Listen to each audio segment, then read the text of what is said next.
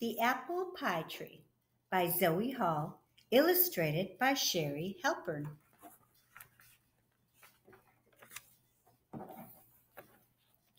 My sister and I have a tree that grows the best part of apple pie.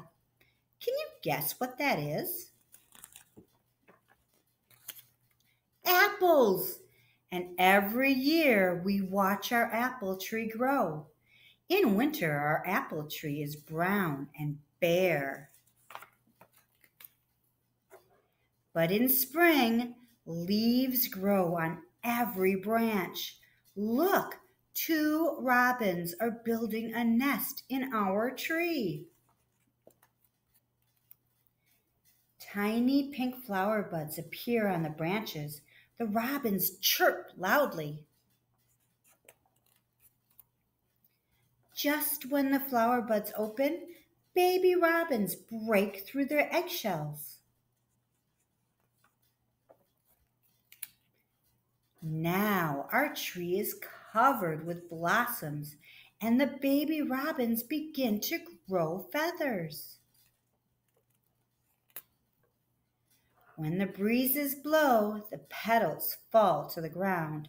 Mama and Papa Robin teach their little birds to fly. Some days it rains and the wind blows hard, but our apple tree is strong and the robins are safe in the branches. Small green apples grow where the blossoms used to be.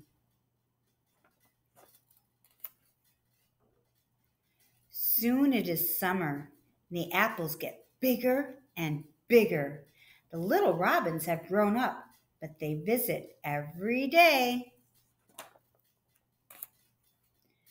The branches bend down low. They are covered with big round apples. Now it is autumn.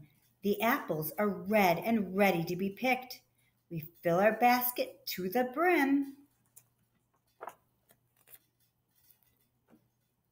Mom and Dad help us peel the apples, cut them up, and pile them into a pie shell. Then we sprinkle cinnamon and sugar over the top. Mom puts the pan in the oven. At last, the pie is cooked and ready to be eaten. Our tree has grown an apple pie. It smells so good. And it tastes delicious. There's nothing as good as an apple pie you grew yourself. The end.